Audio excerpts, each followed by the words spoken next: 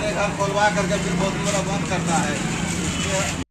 शराबबंदी को लेकर जहाँ कई राजनेता सवाल उठा रहे हैं, वहीं अब इसको लेकर पुलिस बालों का भी गुस्सा देखने को मिल रहा है। भागलपुर के इसाकचक थाना क्षेत्र के भीकनपुर गुमटी नंबर दो स्थित तीन मूर्ति चौक के पास एक घंटे से भी अधिक समय से एक व्यक्ति बेसुध पड़ा हुआ था। आसपास के लोगों द्वारा उसे ऐसे ही छोड़ दिया गया था। पुलिस लाइन के एक सिपाही जब वहाँ पहुँचे तो उसे पहले लात मारकर उठाने का प्रयास किया। वही जब व्यक्ति नहीं उठा तो पुलिसकर्मी गुस्से में आकर सरकार को गाली देते हुए कहने लगा की घर घर शराब मिल रही है और हम लोगों को परेशान किया जा रहा है।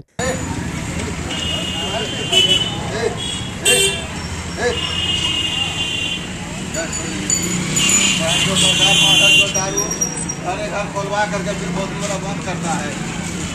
सिपाही का नाम विनोद कुमार है जो पुलिस लाइन में अपने आप को पदस्थापित बताया सवाल उठता है कि मुख्यमंत्री के ड्रीम प्रोजेक्ट के बारे में जब शराबबंदी को सख्ती से पालन कराने वाले पुलिस के जवान ही सरकार के खिलाफ इस तरह के शब्द का प्रयोग करे तो शराबबंदी की सफलता की हकीकत समझी जा सकती है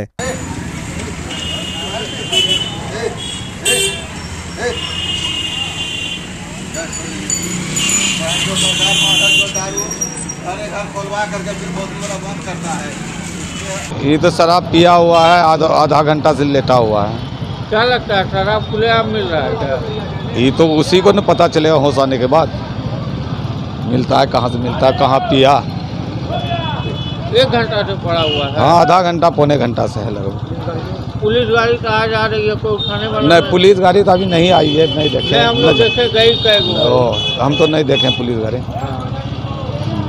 उठाना चाहिए कि नहीं? हाँ उठाना चाहिए बिल्कुल। क्या है कि शराबबंदी पर रोक है तो यहाँ तो शराब पी करके सोया हुआ है तो उसका तो यह होना चाहिए। क्या नाम हुआ? किसका? नाम आपका? मेरा नाम है सुबोध गुप्ता।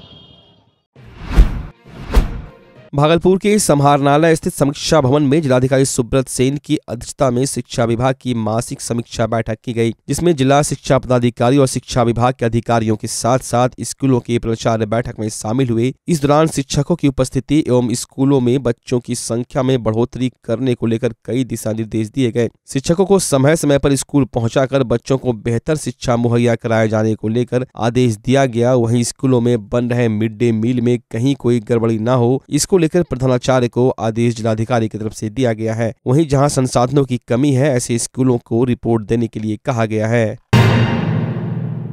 बिहार के मुख्यमंत्री नीतीश कुमार ने बिहार राज्य बाल श्रमिक आयोग का गठन किया है। श्रम संसाधन विभाग ने अधिसूचना किए जाने के बाद आरजेडी नेता चक्रपाणी हिमांशु को आयोग का अध्यक्ष बनाया है। वहीं राजीव कांत मिश्रा को उपाध्यक्ष बनाया गया है। अध्यक्ष और उपाध्यक्ष दोनों का सम्मान समारोह तिलका मांझे स्थित एक विवाह भवन में किया गया, जिसमें काफ़ी संख्या में राज्य के प्रबुद्ध जनों और आम लोगों के द्वारा दोनों को फूल माला पहनाकर उनका सम्मान किया गया। इस दौरान लोगों ने बाल श्रम आयोग के अध्यक्ष और उपाध्यक्ष चुने जाने पर दोनों की जमकर सराहना की। अध्यक्ष ने कहा कि बाल श्रम को लेकर बिहार में कराए जा रहे कार्यों में तेज़ी लाई जाएगी और बाल श्रम करने वाले बच्चों को मुक्त कराकर उन्हें स्कूल भेजने की शुरुआत की जाएगी। मैं बाल सर्विस आयोग का चेयरमैन पूरे बिहार का हूँ और मेरा कर्तव्य होता है, मेरा आयोग का कर्तव्य होता है? समाज के अंतिम व्यक्ति जो अंडर चौदह साल के बच्चे वो स्कूल नहीं जा रहे हैं। उसको स्कूल भेजना। हम लोग जनता के स्टेशन पर पानी बेचने वाला वो बच्चे हैं। हम लोग जनता के स्टेशन पर पन्नी बेचने वाला बच्चे होते हैं। कुछ बच्चे जो गरीबी के कारण स्कूल नहीं जा पाते हैं। उनके परिवारों के लिए इंदिरावास वृद्धा पेंशन वो सब व्यवस्था करना है। बहुत अच्छा लगा सम्मान पाकर। और खास करके अपनों के बीच इस तरह के कार्यक्रम से उत्साह और बढ़ता है। साथ ही साथ इस बात का भी एहसास हुआ भागलपुर के सभी समाज के लोग का यहाँ आए सभी वर्ग के लोग आए सभी संस्थाओं के लोग जो आए उनके अंदर एक उम्मीद है कि हमारे अध्यक्ष महोदय रवि चंद्रपाल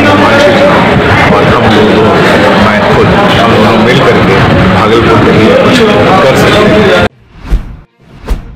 स्वर्गीय इंदिरा गांधी की 105वीं जयंती के अवसर पर नाथनगर स्थित रामनंदी देवी अनाथालय में जिला महिला कांग्रेस की तरफ़ से अनाथ बच्चों के बीच कंबल वितरण और फल वितरण का कार्यक्रम आयोजित किया गया। इस अवसर पर कांग्रेस विधायक दल के नेता अजीत शर्मा के द्वारा अनाथ बच्चों के बीच कंबल और फल के साथ साथ नवजात शिशुओं के लिए सरलेक्स सहित नवजात बच्चों के काम में आने वाली सामग्री का वितरण किया गया। विधायक अजीत शर्मा ने कहा कि इंदिरा गांधी सबों का ध्यान रखती थी, चाहे वो गरीब हो या फिर अमीर। वहीं विकास के काम भी उनके द्वारा जो किए गए हैं, वो आज तक लोग याद करते हैं। आज तो हमारे स्वर्गीय इंदिरा गांधी जी का 105वां जयंती के अवसर पर हम लोग हर साल, इस बार तो पत्नी हमारे साथ नहीं है, लेकिन जिलाध्यक्ष और पूरी कांग्रेस कमेटी कार्यकारी अध्यक्ष लोग हैं। हम लोग गरीब अनाथ बच्चों को कंबल और फल देने का काम हर वर्ष करते हैं। और इंदिरा गांधी जी जो शख्सियत थी, वो तो सब लोग जानता है। तो उनके उनके जन्मदिन के अवसर पर एक सौ पाँचवा है आज। तो इसलिए उस अवसर पर हम लोग अनाथ बच्चों को कंबल और ये देने काम करते चाहे, ताकि वो पूरे देश को एकजुट, सभी गरीब, अमीर, सभी लोगों को लेकर चलने वाली एक शख्सियत थी। और उनसे सब लोग को सीखना चाहिए, जो देश को आगे बढ़ाने का, आधुनिक भारत का निर्माण की है, वो विकास की है। इसलिए उनको, सब लोगों को उनके जन्मदिन के अवसर पर गरीबों को देखना चाहिए और अनाथ बच्चों को बांटना चाहिए। समाहरणालय स्थित धरना स्थल पर झुग्गी झोपड़ी संघर्ष समिति के द्वारा एक दिवसीय धरना दिया गया। लोगों का कहना है कि पिछले 35 सालों से सरकार से मांग कर रहे हैं और इसको लेकर लगातार धरना प्रदर्शन भी किया जा रहा है। लेकिन ना तो सरकार इस पर ध्यान दे रही है और जिला प्रशासन के द्वारा भी कोई कदम अभी तक नहीं उठाया जा रहा। लोगों का कहना है की भीकनपुर एक नंबर गुमटी पर ये लोग रेलवे की ज़मीन पर रह रहे हैं। वहाँ भी रेलवे के द्वारा नोटिस जारी कर खाली करने का आदेश दिया गया है। इन लोगों का कहना है कि अब ये लोग कहाँ जाएँगे? अगर प्रशासन विस्थापितों को ज़मीन मुहैया नहीं कराती तो यह प्रदर्शन और भी जोरदार होगा। पैंतीस चालीस वर्षों से हम लोग पुनर्वास की मांग को लेकर के धरना पर बैठे, बैठ रहे हैं। धरना प्रदर्शन कर रहे हैं और प्रशासन के समक्ष ये मांग कर रहे हैं कि भाई हम लोग भूमिहीन है, हम लोग को गृह विहीन है, हमको घर नहीं है, हम लोगों को पुनर्वासित कीजिए। और रेलवे की ज़मीन पर मेडिकल की ज़मीन पर हम लोग बसे हुए हैं। रोड किनारे बसे हुए हैं। नोटिस भी दिया गया हाँ। बराबर उजाड़ने का हम लोगों को जो है खतरा बना हुआ रहता है। आप बताइए। इधर भी रेलवे कई बार नोटिस दिया इधर भी है सो ई सोलह ग्यारह को यही सोलह ग्यारह और सत्रह ग्यारह को नोटिस दिया कि भाई सात दिन के अंदर खाली करो। ये कौन तालिबानी आदेश है क्या? सात दिन के अंदर खाली करो? हैं? सात दिन के अंदर खाली करने का आदेश है नहीं तो कहा कि हम बुलडोजर से मतलब तो तुम्हारा घर दर नहस तहस कर देंगे। तो आप बताइए कि सात दिन के अंदर हम लोग कहाँ जाएँगे क्या करेंगे? अगर हम लोग को उजाड़ भी देगा तो हम लोग कहाँ जाएँगे? हम लोग को अपना घर ही है ना अपना ज़मीन ही है ना कहीं नहीं है। मेरा बाल बच्चा पढ़ता लिखता है किसी तरह पढ़ता लिखता है दाई का काम मजदूरी तो करके रह रहे हैं वहाँ। कहाँ जाएँगे हम लोग? ज़मीन खरीद सकते हैं आजकल? हैं? क्या करेंगे? हम तो हम मरने के लिए तैयार कि हम कहते हैं कि सरकार हम लोग को मार दे, बुलडोजर के नीचे घुसा के मार दे। भागलपुर के पीरपैंती प्रखंड अंतर्गत रिफातपुर पंचायत के भीमा उराव को सरकार के द्वारा एक एकड़ ज़मीन मुआवजे के रूप में दी गई थी। 2020-21 में एनआर कटवाने जब वो अंचल कार्यालय गए तो वहाँ विष्णु नामक व्यक्ति ने छब्बीस सौ रुपये एनआर कटवाने के नाम पे लिए। उसके बाद सरकारी अमीन द्वारा ज़मीन मापी का टाइम दिया गया, जिसके बाद सरकारी अमीन शाहनवाज के द्वारा बार बार टाइमिंग को लेकर, चौहद्दी को लेकर भीम उराव को अपने प्राइवेट कार्यालय बुलाकर पचास हज़ार रुपये का डिमांड किया गया। और कहा कि पचास हज़ार रुपये दो, तब ज़मीन मापी पैमाइश तुम्हारा कर देंगे और नहीं दोगे तो ऐसे ही चलते जाएगा। वही 2020 में अनार कट और अभी तक भीमा उराव की ज़मीन मापी नहीं हो सकी है। प्रखंड में ऐसे कितने गरीबों की ज़मीन मापी के नाम पर सालों साल से मामला टलता आ रहा है? भीम उराव ने कहा कि अगर मुझे ज़मीन का पैमाइश नहीं हुआ तो मैं आत्महत्या कर लूँगा और अगर ऐसा होता है तो मेरी मौत की ज़िम्मेदारी सरकारी अमीन सहनवाज और पीरपैंती अंचलाधिकारी होंगे। सरकार अपनी कार्रवाई करे, मैं आदिवासी होकर दर दर भटक रहा हूँ और यहाँ अधिकारी मस्त हैं। यह घटना अंचल कार्यालय में सरकारी अमीन की मनमानी दर्शाता है। अब देखना है कि आलाधिकारी उस पर क्या कार्रवाई करते हैं। भागलपुर के नौगछिया के एसडीओ उत्तम कुमार ने गोपालपुर प्रखंड के दो विद्यालय का निरीक्षण किया। पहले मोधा यादव टोला मध्य विद्यालय का निरीक्षण किया। पठन पाठन से संबंधित कार्य को देखा। वहाँ पर बच्चों और शिक्षकों से विस्तृत जानकारी ली। वहीं जाँच के बाद बड़ी मकनपुर नव सृजित प्राथमिक विद्यालय का निरीक्षण किया।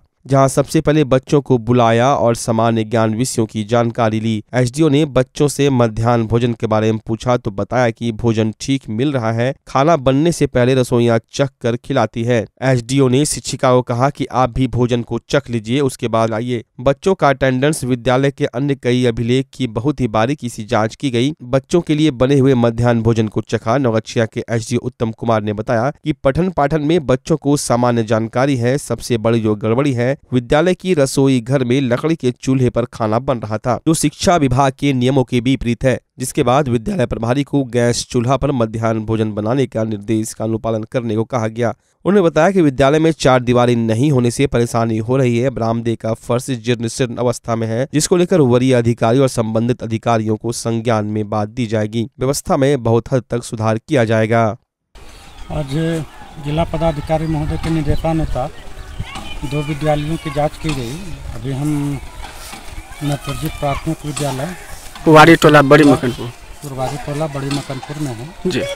यहाँ विद्यालय में पठन पाठन की स्थिति बच्चों से भी पूछ कर देखा गया। बच्चों को सामान्य जानकारी है। जब विद्यालय पहुँचे तो मध्यान्ह भोजन का बच्चों को खिलाया जा रहा था। अ, मेरे द्वारा भी मध्यान्ह भोजन चक्कर देखा गया। गुणवत्ता ठीक थी। लेकिन जो गड़बड़ी आई है कि रसोई घर में लकड़ी पर खाना बनाया जा रहा है जो शिक्षा विभाग के नियमों के विपरीत है कि प्रधानाध्यापिका को निर्देश है कि वे विभाग के निर्देशों के अनुरूप गैस पर ही वो खाना बनवाएँ।